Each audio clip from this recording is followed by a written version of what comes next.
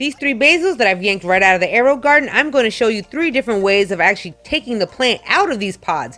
One of them is a good way, one of them is maybe not the best way, and the other one is, I don't know, we'll call it experimentation.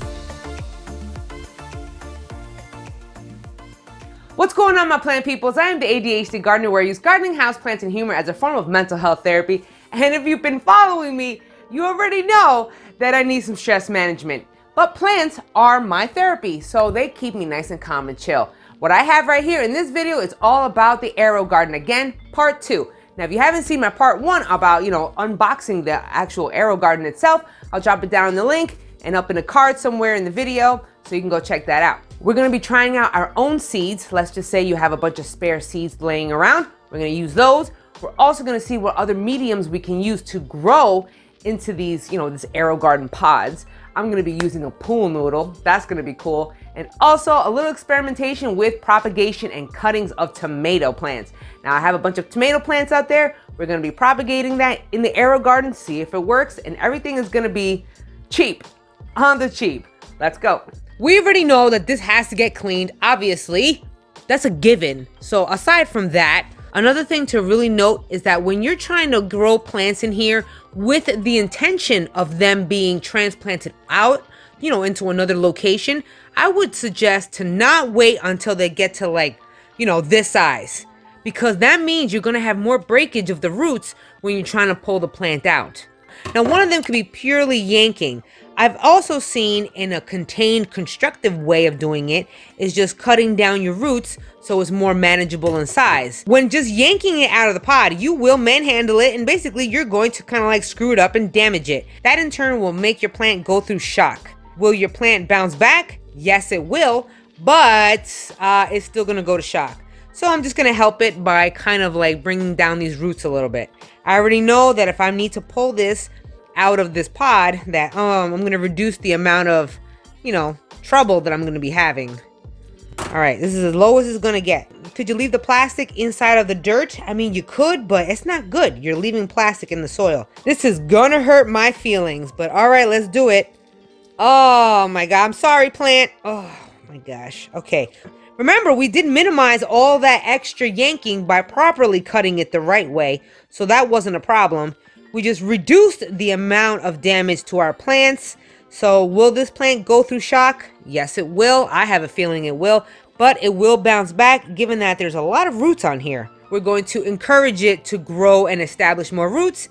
And that is where, you know, I love my root hormone powder, people. So I'm going to sprinkle some of this onto here, onto the roots, and then we should be good to go. Whoop, that was a lot. Okay, we're just potting it up in your favorite soil mixture. Of course, we're not going to really go into what type of soil and all that, but just get yourself a little container and we're going to be potting it up. One thing I want to mention, and when it comes to the AeroGarden, or maybe it could be just, you know, veggie specific, I'm not too sure. But I tried to grow a long, what is it, a sugar snap pea or something in this AeroGarden. This really did not work out that well. But I will show you because this is what matters is that notice that the root system is not big on this plant particularly. So if you were to just pull this out, there would be minimal damage or maybe just not a lot. Look, all right. I mean, there was some, but it wasn't a massive amount of root system like it was, for example, basil. Look at this. Now, the other idea I'm having was to cut off part of the plastic. Okay? Remember? Oh my gosh, I think in the end, your root's still gonna have a problem, you know, with some damage, some trauma to this. So, we're trying to minimize it. All right, there was some snippage of the roots. I saw that. All right. Ugh, I cut that root. Oh, I saw that get cut. Oh man, that. All right, some some roots still got cut in the end. Okay, so now see how that's by itself? All right. Now the plast, see, how, you know what, in the end, is there any other really good way or better way of pulling this off? I don't think there is. Oh, okay, no, you know what? That actually wasn't a bad idea. All right, you did wind up pulling, okay, that came off, but you still have a lot of the root system going. All right? Of course, you still have the piece of plastic, which if you pull this off in a smaller state, like let's say the plant leaves are, you know, a little smaller, oh my gosh, maybe that's a bad idea. Oh, oh, hey, it worked. Hey, check it out. And it still's got boatloads of roots on here. I mean, there is a a big root ball here. I'm sure. Oh, I all right. I don't want to make it worse. Okay, so now all we do is pot this one up now. Okay, what do we do? For the first one, we cut the roots and then pulled. The other one was we cut the plastic off.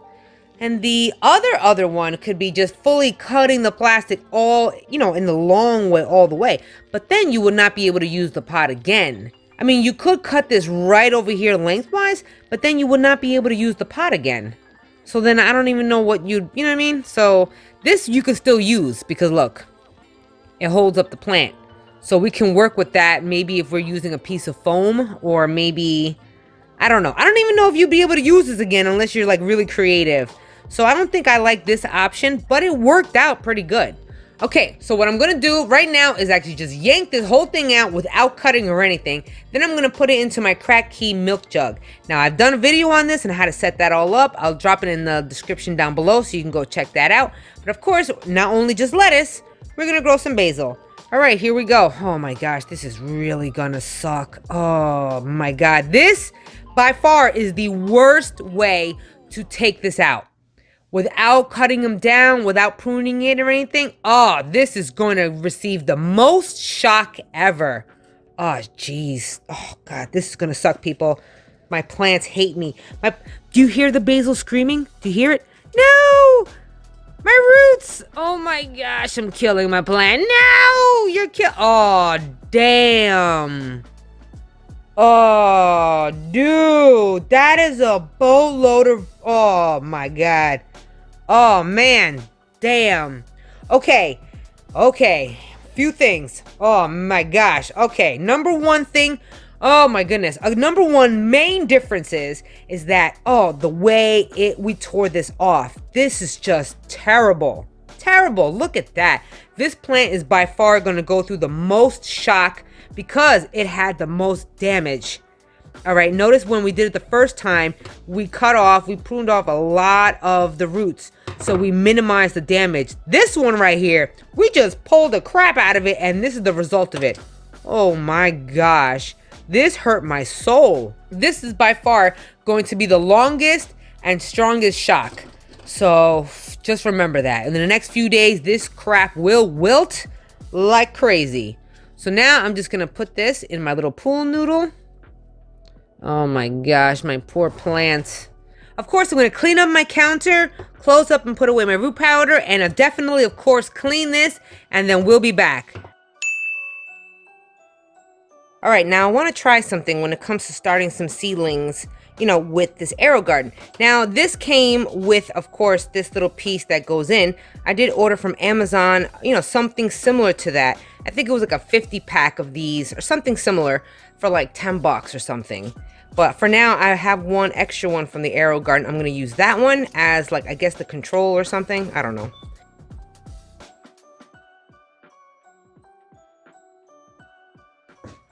This one is going to be experimental. This, I took a chunk of pool noodle, right? Because I've been experimenting with hydro. I'm taking this pool noodle. Luckily, I'm using a chopstick. All right. And I'm just going to, oof. I want to poke a hole through it so the roots have somewhere to go. All right. Look, there we go. I want to make it a decent size because when I put inside of the seed and it germinates, it has somewhere to go out of. Because I don't think that the seed, you know, the roots are going to penetrate the foam exactly so much. So I want to be able to have it, you know, an escape route for it to go. For now, I'm just going to put that right there. Okay. And of course, this is going to come down. So I'm just going to wind up shoving a bunch in here. All right, I managed to get two. I don't know. I do not know if this is going to work, okay? I do not know. So this is where I guess the experimental phase comes in. This experimentation is purely for shits and giggles. With LECA balls, I've come to find out that it works good in certain situations, but it does not work well in others. So I want to see if this is going to work in this AeroGarden. I wet the balls up. Oh my gosh, that sounds so funny. Okay, I wet the balls up because, you know, I wanted to retain a little bit of moisture. I'm going to throw some seeds in there, and I don't really know if it's going to work. I wanted to see if I transferred this extra seedling that I had from my NFT system, could I put it inside of there already? So I took a piece of foam and I tried to curve it a little on, you know, like a cone shape. So, and I put a slit and now, ooh, I'm trying to fit, oh shit. So now I try to fit this in there, in the little slit, enough, and then have this hanging out. And then of course, you have this right here. Now I needed it to be long enough. Now I needed this to be long enough in order to kind of hang down and touch the water. So I'm hoping, I'm hoping this works.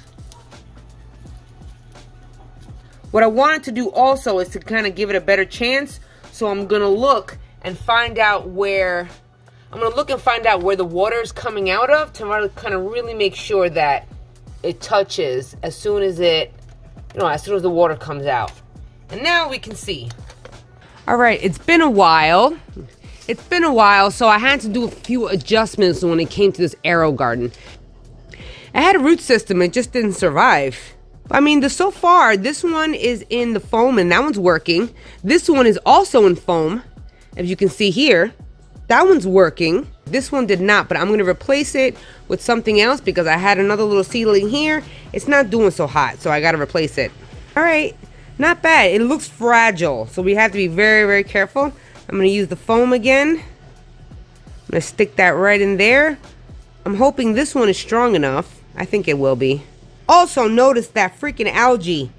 Look at that. Oh, my gosh. So I'm going to just kind of gently, you see that? That root, I want it to be, I'm not, I'm, I'm not saying it has to be out of it, but I want it to be long enough so it can get into the water. It has access to it. Do you see that? So I'm going to be putting this toward the water. Okay, we do have some algae, and I'm assuming that also has to do with over here. I did not see this algae problem, or maybe I did before. I'm not really sure. Maybe I never noticed. Or pay attention. Pay attention, people. Apparently, I was not paying attention. Okay. This one's in foam. This one also, look at that. No algae. It is growing rather slow. Look, there we go. That's some root system. It is growing a little slow, but I'm assuming also maybe because it's having a hard time growing through the foam. This one right here, I gotta take this off. Okay, this one did not grow. This one actually looks kind of moldy. That's okay, we'll replace it with something else, with another seedling or another seed and wait for it to grow. I bought this from Amazon. Now these were the replacement ones. Now, I mean, they did good, but mm, I'm still waiting for something to come out of this. The one over there did not work out. This one didn't really work out too much. I see it struggling, so let's check out the last one.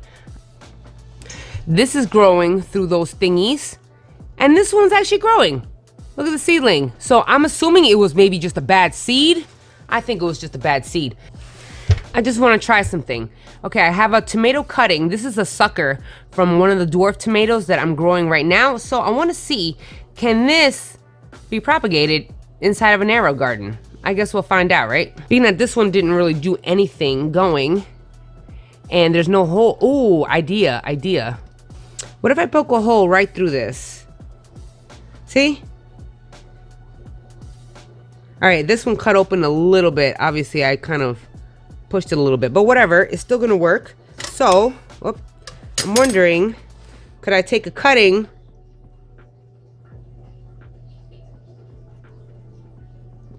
put it right through there, and then put it through here. Actually, I'm thinking about making this go through two only because these things can maintain water, hold on to water, and that could possibly encourage some more root growth. So I'm going to stick them both in there and see what happens. One week later. I'm in the kitchen cooking, right? So I'm staring at this and I, you know, just wanted to check them out. This is doing fantastic. Oh, that's growing. It's looking great. Next one. Now, my question was about the tomato. Now, can I get it to develop some roots? What do we got? Oh, we got roots, baby! If you want to transplant anything out of the AeroGarden, now would be the time. When they just start developing some serious roots. This was just the foam. But you see the roots? They started growing right through the foam. That's fantastic. Okay, yeah, we do have, I mean, this is getting a little dirty, uh, you know, a little dirty-ish. But, you know, whatever. Okay, now this one's doing good. I can take this off. I actually forgot what I grew here. I think this is kale. This one, not sure, but if it hasn't grown by now, it's not gonna grow. So if this did not do anything, I'm gonna have to just change up the seeds. It has to do with the seeds. That's a problem. It has to be the seeds because everything else is doing just fine. I'm gonna change it up again and I'm gonna put new seeds in them and see what happens. I'm trying to make some dinner, but in the meanwhile, let's check out what is going on with this little one over here. Let's see, please tell me. Oh, yes, we have one. Apparently, it was the seeds. If you have bad seeds, old seeds, or maybe some seeds that have been touched by like some liquid or whatever, yeah, they're not gonna grow. Let's check out the tomato because I need to transplant this, but I haven't had any time because I'm too busy studying in a nursing book. So let's check it out. Whoa, I need to do something about that. I really hope you enjoyed this video and you got some good information out of it. If you did enjoy this video and you want to show me some love, then don't forget to smash that like button. I really appreciate it. It really does help my channel out. Also, if you haven't already, then consider subscribing. Drop a video when I can because I am trying to, you know, handle some other stuff in my life. When in doubt, you can always find me on Facebook and Instagram. I'm on there all the time. I basically live on social media, so you can always catch me there. Until the next time, you guys, you and me both are going to be growing our happiness one plant at a time, one day at a time. And please use your plants as a form of stress management and stress chill, okay? Until the next episode, you guys, peace and love.